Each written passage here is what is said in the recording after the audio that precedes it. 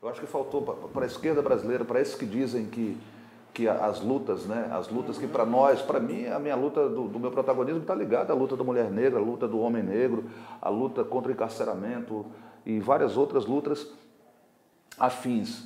Mas a falta de diálogo coloca a luta de um na frente do outro. Então, quem está falando, com certeza, é, isso, ele até ele se identifica com minha história, mas ele nunca viveu minha história. Então, minha história não é tão importante para ele. Ele uhum. quer focar na história dele. Quando você pega, né, a partir do, do pragmatismo, do livro, da leitura, a luta de classes, então quer dizer, você é, é, é, o, é o, foco e disciplina no, no, passo, então tudo que te desfoca disso uhum. vai, te, vai te tirar da, da sua, do seu objetivo. Só que o que te, o que te desfoca é, são pessoas, são vidas, né? Então, quer dizer, você, se você. É, as pessoas falam em consciência humana e não querem discutir consciência negra.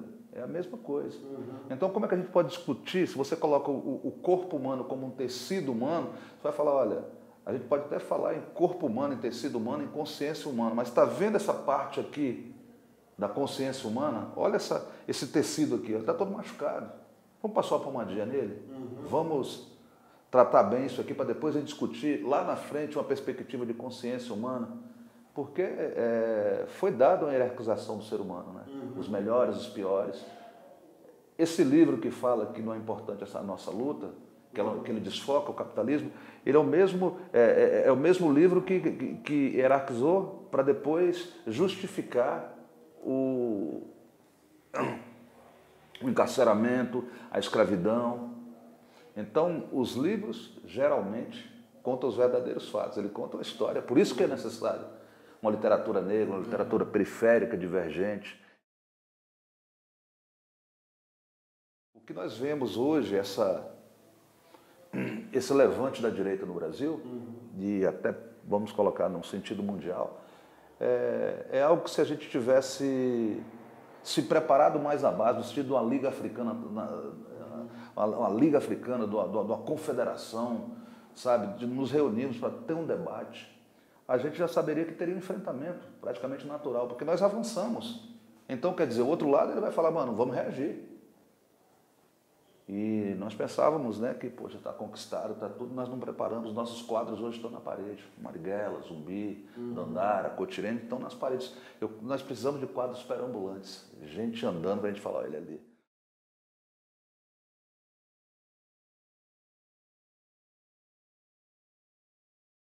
Movimento político, né, ele está muito ligado à, à, política partidária, a estar tá no centro. E a quebrada, eu estava na quebrada, então eu não era detectado. O censor, mesmo né, é, do movimento social, não conseguia me captar. O grande chamamento público para mim né, foi, primeiro, o soul, que era um entretenimento, o funk, o disco, eu passei por tudo isso, o break. Aí o break foi quando você passa a fazer movimentos no chão, né? Aí isso já era uma coisa muito era muito violento, né, para a uhum. sociedade. Então a gente a gente passou a ver muito mais a discriminação apenas por a gente ser pobre, né, sabe? Então tinha alguma coisa a mais. É, tinha origem, mas tinha também o que a gente estava fazendo e que era ligado ao que aquela origem produzia, gerava. E Racionais foi o chamamento público o, o é de todos para nós, chamou, né? não é editais, né? de tal, de tal. Racionais em 1988, o Holocausto Urbano, tanto em São Paulo como no Brasil, foi uma coisa.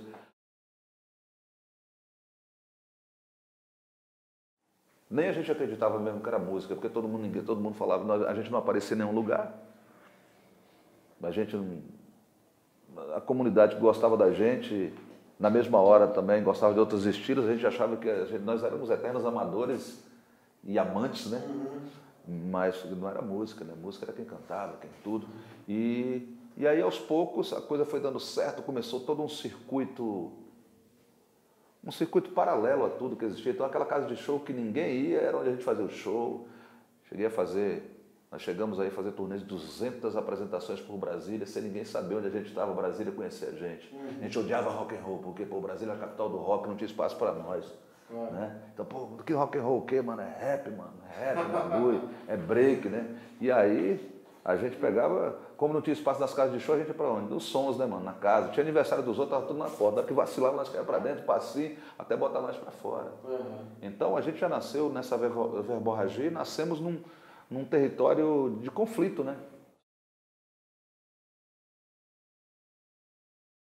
E, e só em 90 que começam os movimentos sociais, a partir dos trabalhadores, uhum. movimentos sociais, começam a. Pô, o que, que esses meninos estão falando aí?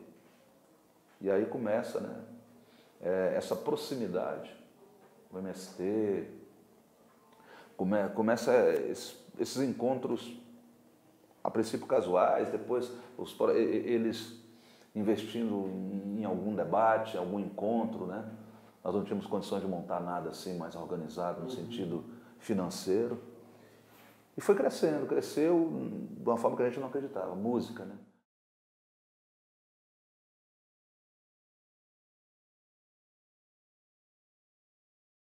Aconteceu é, um isolamento, sabe? A, a, comunidade ficou muito carente da gente, só que nós já tínhamos despertado nessa comunidade carente a querência. Eu quero também.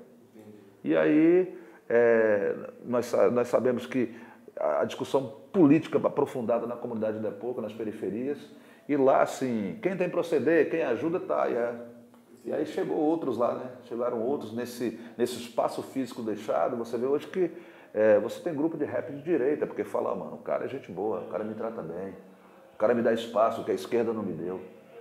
Eu, eu, eu, eu vejo que ele está errado, mas eu percebo também que essa distância da esquerda brasileira né, do, do, da casa, da esquina, do beco.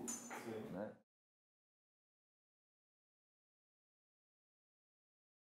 Desfoca do Congresso agora, vamos para a comunidade. Mas eles não entendem, as pessoas não entendem, principalmente a assessoria dele, né? O homem quer, mas os caras não querem isso, é por aqui o caminho. Aí falam, rapaz, vem por aqui que a gente sabe. O traçado aqui é nosso. Então hoje, não vou dizer, eu jamais desistirei de uma caminhada dentro da minha comunidade, mas hoje está muito complicado. Uhum. Então, quer dizer, a minha fala, o que eu estou colocando aqui, já foi 100% consenso, consenso na comunidade. Hoje você já fala assim, ah, mano, tem dissidência lá agora. Já está uns 20% lá meio revoltado, que essa ideia aí não rola mais.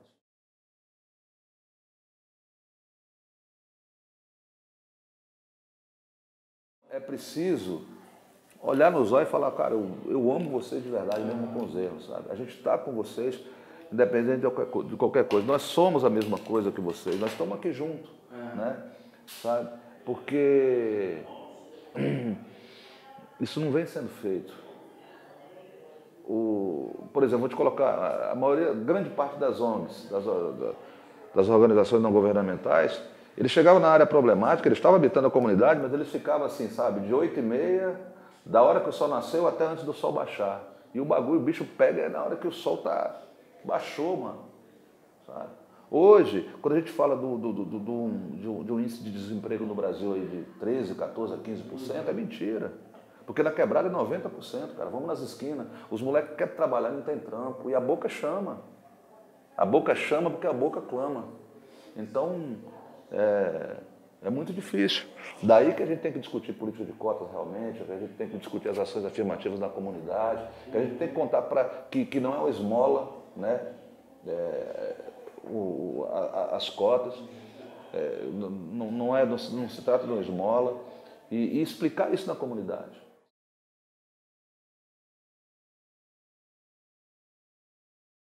Rompimento para nós hoje de qualquer tipo é ruim. Eu acho que a gente só tem que ter rompimento com aqueles que sempre atrapalharam, que estão do lado de lá, olhar de frente. E chamar os nossos, ter paciência para colocar os nossos de lado. Isso está faltando para a gente também. Uhum. Essa divisão do Brasil é ruim para nós, porque nós somos a maioria. Se divide a maioria, é, quer dizer, a minoria vai ficar com mais gente. Não é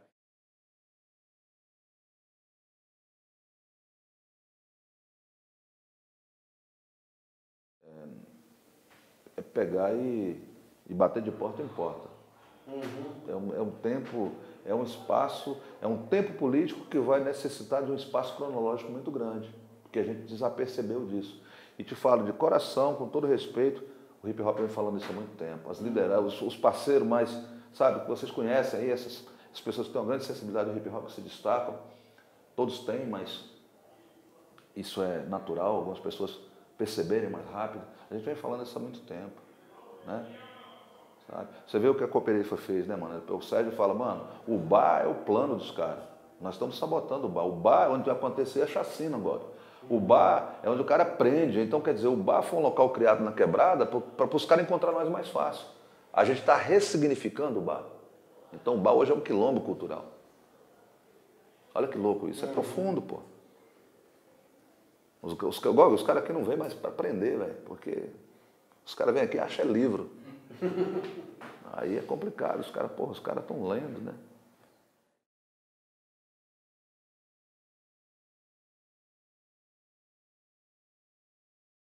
Paulo Freire fala assim: o opressor vive na consciência do oprimido. Então, essa disputa política nossa, sabe, é, no Congresso, na disputa, ela é super importante, mas ela, ela para mim fica em background no sentido que eu falo, mano, se o opressor está na cabeça dos oprimidos, eu não preciso de acabar o opressor lá, eu tenho que libertar o oprimido aqui. Então é por isso que você ouve os depoimentos. Mano, essa letra mudou minha vida, Gog. Ela nasceu direto na cabeça do cara.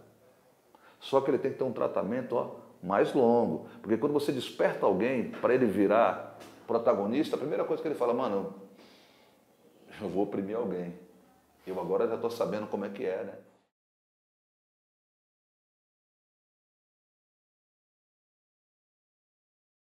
A classe E que foi para D, ele hoje olha, mano, ele, porra, chega lá na igreja e fala, muito obrigado, meu Deus, por me dar saúde para ter vencido essas batalhas tuas. PT o caralho, Lula o caralho, isso aí fui eu, porra. Ele não entende que foi uma política né, de enfrentamento, uma, uma disputa política que proporcionou que ele tivesse força para caminhar. O partido não fez o, o trabalho completo de pegar, chegar aí na comunidade e falar, ó, nós estamos, nós, nós proporcionamos isso aqui, assim, sabe? Vocês são importantes, mas eu quero falar que também nós somos importantes na engrenagem. Então, todo mundo junto, isso aqui vai caminhar. E outra coisa, não fecha as portas aí não. Abre aí que a gente tem mais gente para vir.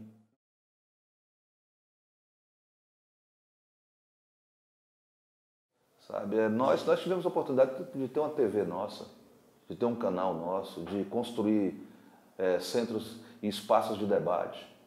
E não construímos nada, nós não temos um terreno para falar assim, ó, vamos construir aqui nossa casa um espaço de debate, de diálogo, não temos nada. Sabe, nós somos inquilino. A gente paga aluguel. Isso foi um erro estratégico, mas por quê? Porque faltou o livro, uhum. faltou, sabe, a, a liderança negra que já pensava, os pensadores intelectuais negros.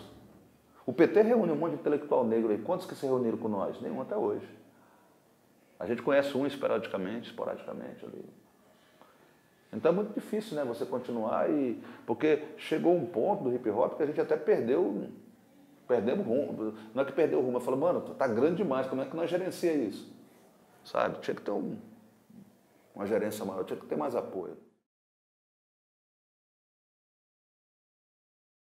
É, digitei no impulso, já com teclado em curso, o aplicativo trava. Ampliei o zoom, todos amigos, amigos em comum, Outlar. Messenger para cada um, 5 mil no perfil, nenhum para refil. Ninguém abriu o Face, todos no backspace. Área de trabalho histórico, menu, timeline, todos em off, barra só eu online. Periféricos no gabinete, no enter e sai. Monitor, arrastou, não, controladora cai. Del é mais, me salve dos mouse, dos paus, de cap, os local shift, gerenciador resiste na placa-mãe, pede o Ctrl Alt Del, processador, memória, superou Intel, atalhos do Pente, links, PGA, PGDAL, delete no arquivo. O HD deu pau, versão Wi-Fi, era 3G e fiquei fora da área, a função vai te dar app, escada por escada, cada janela entrada e saída está fechada para você, aqui fim, sem home, sem fã, page clique nessa fonte, ereis, nesse seu perfil, calor, subiu a temperatura do processador, do capacitor, para lixeiro o vírus letal que você transmitiu dali, Salvador, não, contra o S Dor Brasil. Atirei no impulso, já com a batalha em curso, a carabina trava. Agora quem me salva, o rádio não fala, o transmissor falha, traído pelo amuleto, o sniper do gueto. Meu covil curtiu, dormiu até às seis da manhã, acordou, capotou, não tomou café da manhã. Dormiram todos amontoados, só eu de pé. Tomei café gelado, acordaram no susto, correria, aquele entra e sai, balacetou, ai, soldado controlador e vai, Deus é mais, livre minha derme do verme, de boina preta e bota, dedo e riste, gerente resiste, conhecimento da área, facilita o controle, cara sorrindo imitando emoji, mãe, ainda não foi hoje, cada beco viela, cada currutela, nasci pra ela, sou vulgo, desse subo, a transversal e a paralela, uai pai, Passou um tempão fora da área, justo depois do susto, sobe com a cara de leal, olha cada barraco, seu fraco, lacrado, porta-cortina, jogatina, tro trocou cabeça, sobrou guilhotina, rapa vai riscar do mapa, deixar sua capa, pneu aqueceu, frango frito, tá servido na chapa, caatinga vem, subiu, de verde oliva e fuzil, dali, Salvador, Brasil. É preciso é, misturar é, rua com argumentos, sabe? Então, é...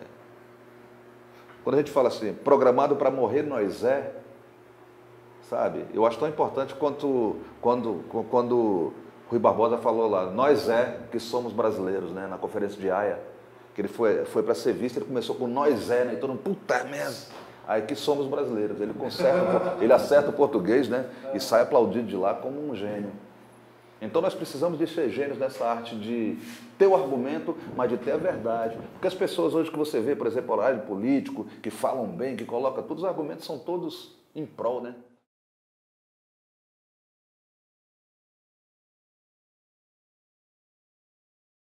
O rap, o protesto é um protesto negro, é um processo, é, o, o, é, é para ser mais entendido, o rap é, é, é conflito diaspórico, mano.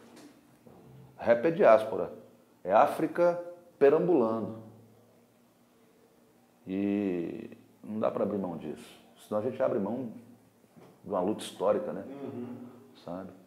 E é o que vem fazendo. Para enfrentar isso, precisamos de quadros não só na parede, como eu falei.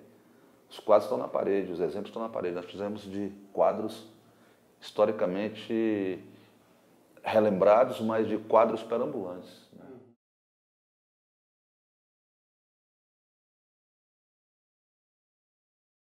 Porque para o partido, muitas vezes, a disputa é o que acontece no centro, né? E, e, e, e assim, no centro, eu, eu, sinceramente, com todo o amadurecimento do PT desde 1980, uhum. né, como partido, eu acho que a luta do centro ela é, é, é, é, muito forte. Eu acho que o, que o partido ele tem que se fortalecer ainda mais na base para que ele possa disputar o centro, um, o centro com, com mais peso.